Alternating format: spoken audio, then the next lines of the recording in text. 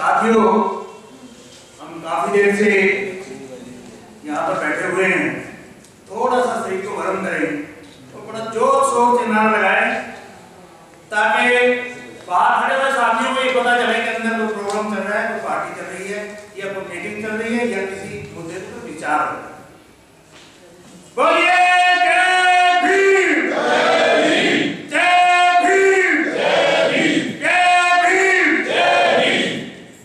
मानव सम्मान के योग हमारे भाई रविशंकर जी और बहन अनिता जैन जी, वेद प्रकाश जी और भी बहुत से साथी हमारे क्रांतिकारी हमारे बीच में थे। मैं काफ़ी देर से बैठा एक ही चर्चा सुन रहा हूँ कि आज हमारे साथ ये हो रहा है आज हमारे साथ वो हो रहा है और पीछे हमारे साथ ये ये चर्चा जितने भी हम यहाँ पर हैं सब यही चर्चा करेंगे और मुझे स- समय मिला है सिर्फ़ एक मिनट का मैं एक मिनट में ही आपकी बात को पूरा करना चाहूँगा साथ ही दुख होता है जब हमारे जुझारू नेता रविशंकर बहन जैन जैसे बीच में आए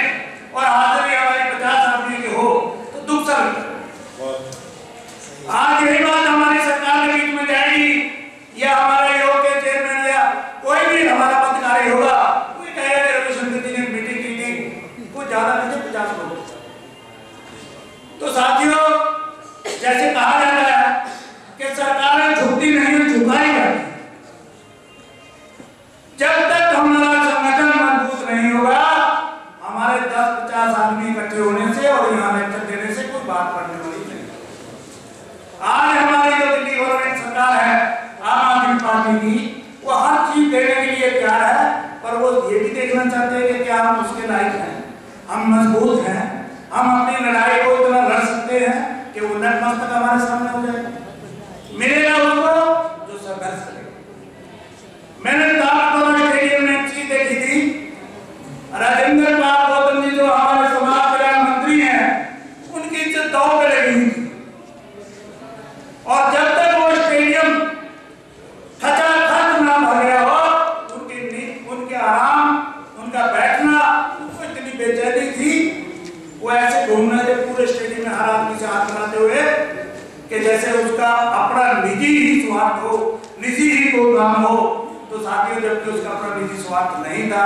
वो इस समाज के लिए, दलित समाज के लिए लड़ाई कर रहा था। और सिर्फ़ मुख्यमंत्री जी को ये बात दिखाना चाहता था कि ये जो समाज है,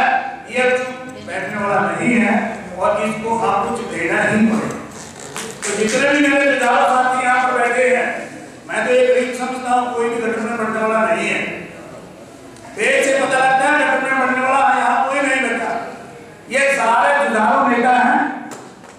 लोगों का काम है कि हमारे जो गटर में बढ़ने वाले हैं, सफ़ाई करने वाले हैं, उनसे थोड़ा टच में रहें, उनको थोड़ा ध्यान दें। उनको ये बोले हम आपकी लड़ाई लड़ेंगे सिर्फ़ आप हमारे पीछे चले। पर हमें दुख आता है जब हमारे आदमी हमारे पीछे ना चले।